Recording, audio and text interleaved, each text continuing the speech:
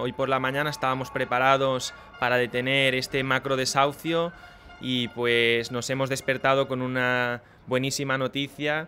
Doncs aquest desallotjament s'ha aturat per ordre d'Europa i per ordre del Tribunal...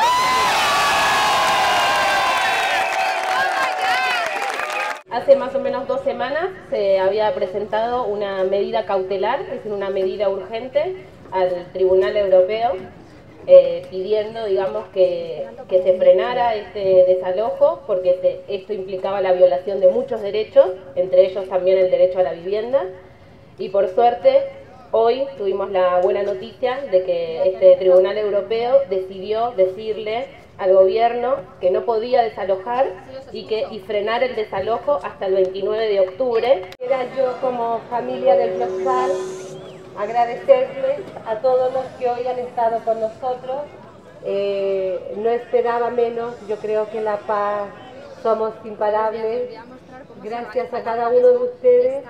Creo que esta lucha es de todos. ¿eh? Estamos haciendo historia. Si la Generalitat tenia ganes de solucionar això per la porta del darrere, apagar quatre focs i pensar que aniria a la PA i oferint quatre pisos i quatre rellotjaments individuals s'acabaria amb el problema, tenint en compte que la Sareb té més de 15.000 pisos buits i podrint-se de fàstic, ho tenia clar. La Generalitat s'ha de posicionar immediatament en relació a això. I que no pararem fins que no aconseguim que aquest bloc sigui de la PA i sigui per la gent de la PA.